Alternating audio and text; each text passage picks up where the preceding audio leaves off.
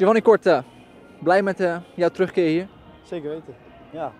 Ja, het is mooi om uh, hier terug te keren op de Krommendijk inderdaad. En, uh, ja, leuk man. Wanneer werd jou duidelijk dat zo'n terugkeer er weer in zat? Um, was maandag volgens mij. Toen kwam de, Henk Vrees ook naar me toe van... ja Gio, ja, luister, je gaat niet heel veel minuten maken. Maar ja, we kunnen je wel gebruiken, maar het is voor jou zelf gewoon beter om te gaan verhuren. En dus ja, verhuren en dan dacht ik natuurlijk wel gelijk aan Dordrecht. Plus, Marco wilde me graag hebben. En uh, ik ben natuurlijk hier uh, ja, kind aan huis.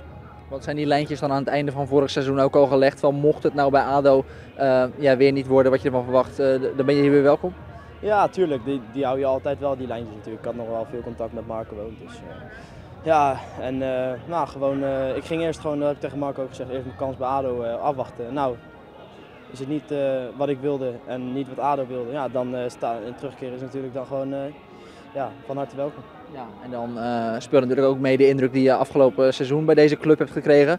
Kun je proberen ja, onder woorden te brengen welke indruk die club vorig seizoen op jou heeft gemaakt, waardoor zo'n terugkeer eigenlijk ook vanzelfsprekend is voor jou?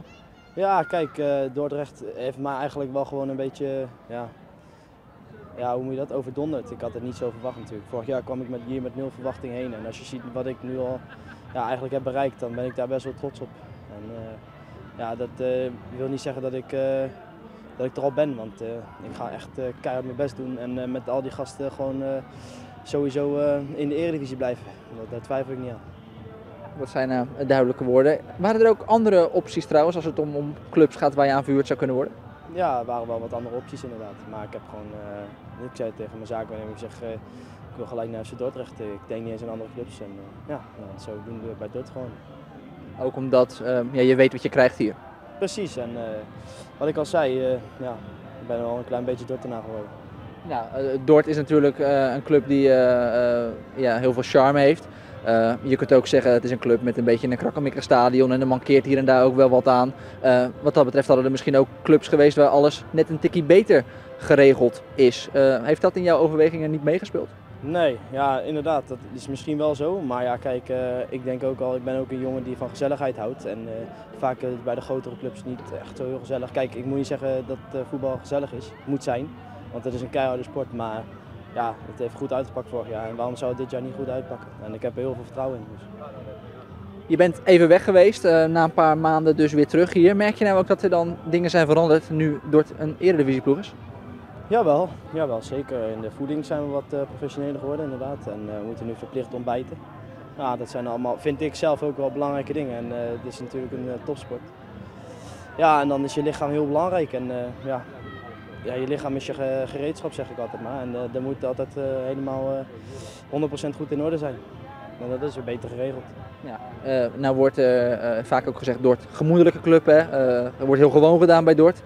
wordt er nog even gewoon gedaan nu de club een eredivisieclub is? Ja, ik denk het wel. Ik denk dat je dan juist niet moet veranderen natuurlijk. Dan, ja, dat was ook de kracht vorig jaar. En ja, met aanvallend voetbal, dan ja, blijven we er gewoon in. Je moet er nu gelijk staan, of in elk geval de competitie staat gelijk voor de deur. Is dat nog lastig? Ja, ik had vandaag wel, het ging op zich wel goed. Maar uh, ja, de afstemming met de nieuwe spits, met, uh, weet je, met de nieuwe spelers, met Joris, middenvelder, ja, die, uh, die was er nog niet helemaal, vond ik. Maar ja, dat is logisch. Ik, ik heb één training meegedaan gisteren en dat moet groeien en dat komt helemaal goed. Wat zijn jouw ja, voornaamste perspectieven dit seizoen? Wat wil jij met Dort bereiken en vooral ook voor jezelf? Ja, ik wil gewoon eigenlijk lekker spelen, voetballen. Ja, dat is natuurlijk uh, wat ik het leukste vind om te doen. En ja, lekker in de eredivisie. Dus uh, ik heb eigenlijk uh, niet echt een doel voor ogen. Ja, om met Dort gewoon zo goed mogelijk en verzorgd voetbal te spelen. Dat wat je ook net terug zag wel.